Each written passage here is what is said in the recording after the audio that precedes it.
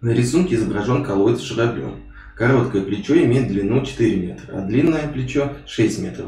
На сколько метров опустится конец длинного плеча, когда конец короткого поднимется на 1 метр? Для начала сделаем схематическое изображение нашего журавля. Запишем данные. АО равняется 4 метра. ОС равняется 6 метров. Короткое плечо АО поднимается на высоту 1 метр, а H равняется 1 метр. Изобразим. Нужно найти, на какую высоту опустится длинное плечо. ЦК. Также изобразим. Найти ЦК. Обозначим наши данные на рисунке. Длина короткого плеча АО 4 метра.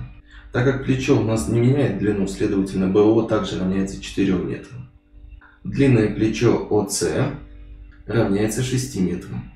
ОД будет равняться также 6 метрам.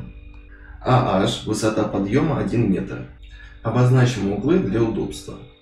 Угол АОБ – это будет угол 1. Угол ДОС – это будет угол 2. Угол ОДС будет углом 3. Угол ОСД будет 4. Угол БАО будет углом 5. Угол АБО будет углом номер 6. Итак, угол 1 равен углу 2, так как угол АОБ и угол СОД это вертикальные углы. Угол 3 равен углу 4, так как треугольник ОСД это равнобедренный треугольник по равенству плеч. Угол 5 равен углу 6, так как треугольник АУБ это равнобедренный треугольник по равенству плеч. Сумма углов треугольника равна 180, а так как углы 4 и 3 это углы при основании в равнобедренном треугольнике, то они равны. Тогда угол 3 равен углу 4, и все это будет равняться 180 градусов минус угол 2, деленное на 2. Угол 5 равен углу 6, так как это равнобедренный треугольник, и углы 5 и 6 это углы при основании, следовательно, будет равняться 180 градусов минус угол 1, деленное на 2.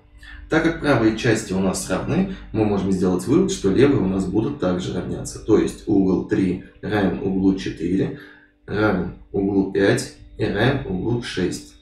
Так как угол 1 равен углу 2, как вертикальное, а угол 5 равен углу 4, это из выше доказанного, мы можем сказать, что треугольник АОБ подобен треугольнику СОД по двум углам. Раз треугольники подобны, то их стороны будут пропорциональны. То есть АО так относится к СО, как БО относится к ОД, также АБ относится к СД.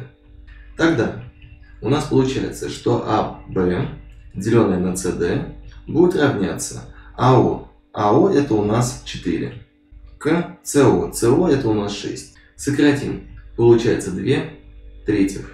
Так как угол 6 равен углу 3, отсюда можно сделать вывод, что прямая АБ параллельна прямой CD. Так как угол 3 и 6 это накрест лежащие углы при прямых АБ и CD и секущий BD. Прямая HB параллельна прямой ДК так как эти прямые параллельны Земле. А так как прямые параллельны, следовательно, угол HBO будет равен углу ODK, как накрест лежащие углы при параллельных прямых BH и DK и секущий BD.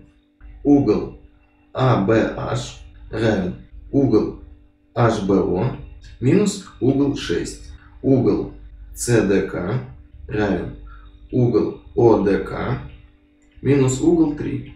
Так как угол 3 равен углу 6, это мы ранее доказали, а угол HBO и ODK равны, это мы тоже ранее доказали, отсюда можно сделать вывод, что угол ABH равен углу CDK.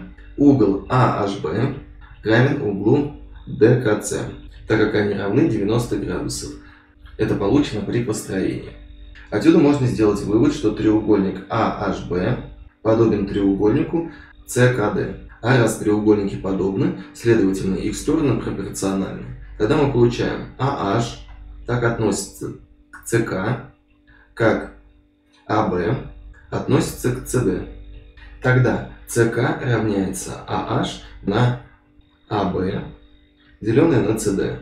Тогда ЦК равняется AH это 1 метр, деленное на АБ, деленное на СД. А это мы ранее получили. Это 2 трети. Разделив, получаем 3 вторых или полтора метра. Запишем ответ.